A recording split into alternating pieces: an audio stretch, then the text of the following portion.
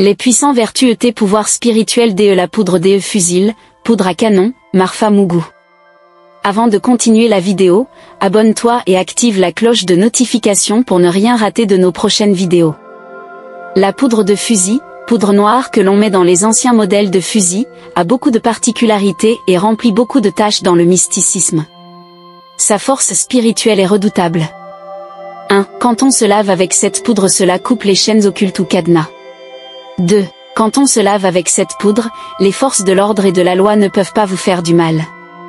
C'est très efficace contre policiers, douaniers, etc. surtout pour ceux qui voyagent beaucoup.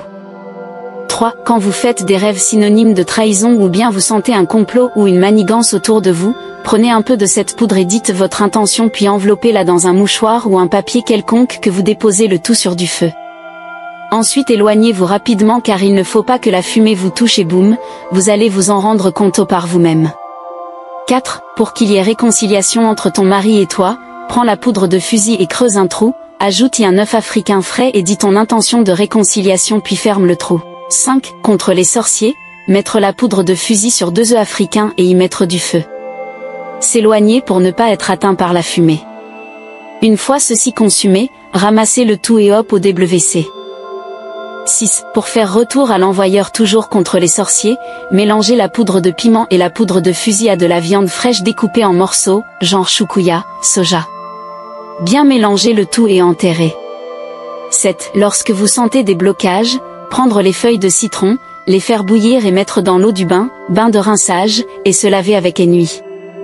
8. Pour éviter la trahison et le mal, faites un cercle avec de la poudre de fusil et mettez-vous au milieu pour vous baigner afin que le mal parte avec la saleté du corps.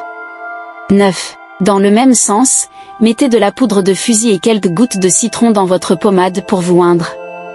Là où vous entrerez personne mal intentionné ne peut rester en votre présence. 10. Toujours avoir de la poudre de fusil sur soi, un des éléments indispensables. N'attendez pas de sentir la trahison.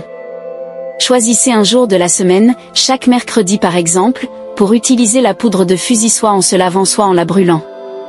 11. Pour les plaies du genre inguérissable, ajoutez du beurre de karité à de la poudre de fusil et mettre sur la plaie et elle guérira.